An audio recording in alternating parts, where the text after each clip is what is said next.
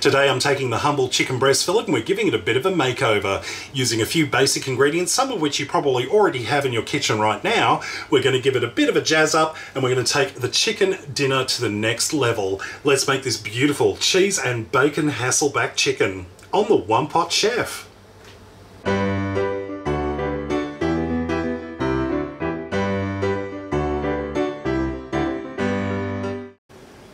First things first, let's sort out our chicken. Now I've got four chicken breasts, they're skinless and boneless, and what we're going to do is we're going to do the Hasselback effect on each one. Now if you've seen Hasselback potatoes, basically it's a potato which has these very thin slices over the top of the potato so when you put something like garlic butter on top and then put it into the oven, the garlic butter melts into it. In this case, we're doing it with chicken and we're going to be stuffing a lovely filling in between the gaps. So we start at one end and using a sharp knife, we're going to cut part way through the chicken, about three quarters of the way. Don't go all the way through, it should be still attached. And then just keep going, doing the same shallow cuts all the way along, about maybe half a centimetre or about a quarter of an inch between each gap. And just keep going until you're all the way along the end. So you see they're all still attached and you've got a nice little gap between each there. That's where we're going to put our lovely cheesy bacony stuffing. So do that to each of our fillets and then transfer them onto a baking tray lined with some non-stick baking paper. So that's the chicken sorted out. We can set this aside for a few minutes while we work on our filling. Into a large fry pan over a medium heat, I'm going to add in our bacon. I'm putting in four slices of middle rasher bacon. Now this is some lovely hickory smoked bacon, so it's got lots of smoky goodness to it. And all I've done is just roughly chopped it up into small chunks.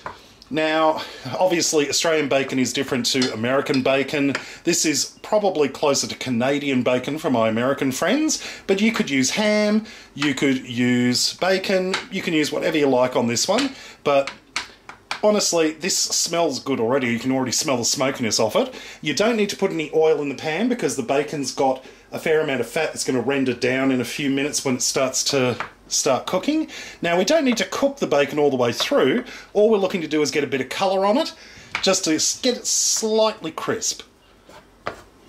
To add a bit of extra flavour, I'm going to put in some garlic. I'm putting in a teaspoon of minced garlic, about one clove roughly, and two chopped up spring onions.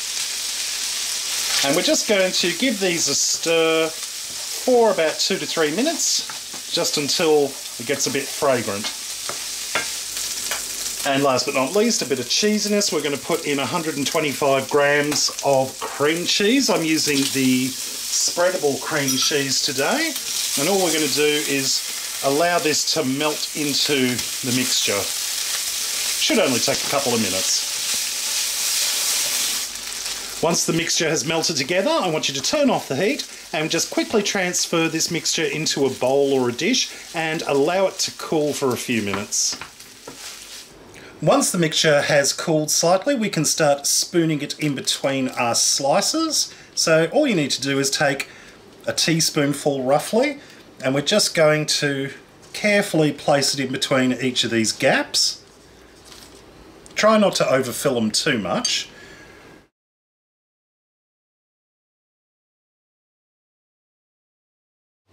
And to finish off, just a little bit of grated cheese on top of each chicken piece.